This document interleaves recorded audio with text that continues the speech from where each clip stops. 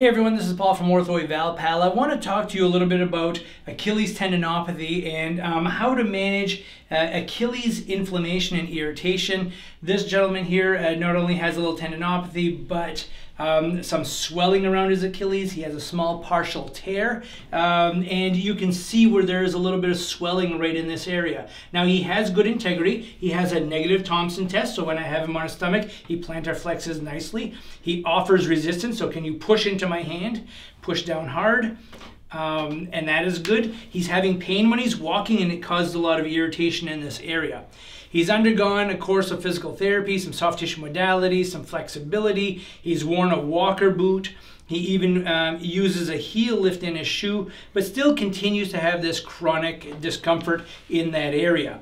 Um, so what we're going to do now that will be different than what he's had before is that we are going to support the arch a little bit better with an orthotic so that the heel is not rocking side to side. The Achilles likes to go straight up and down, but does not like to bowstring back and forth. The other thing we're going to do is we're going to start to put a little bit of a load on this. So an isometric plantar flexion in about this position, he's going to be holding on that. We're going to use a, a shuttle or even uh, some TheraBand to start with. And he's going to be holding that isometric position for 45 seconds and then take a 45 second rest. And he's going to do that five times. And as long as he is not painful, we're going to start to increase the load so that um, we put a little more pressure on that. Um, and that can be pain relieving and it can also help build some integrity to that Achilles.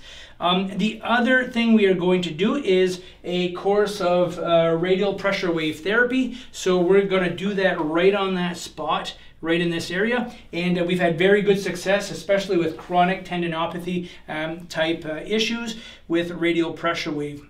The last thing we're going to add to his program is going to be getting him into a rocker bottom shoe that is nice and solid. So we're going to use something like a Hoka and um, with a temporary orthotic in there to help support the arch and try to keep that Achilles rolling a little bit easier. By using the Hoka, we're not going to get such an aggressive dorsiflexion moment when he is walking. So that can help take that little micro trauma off that Achilles back there.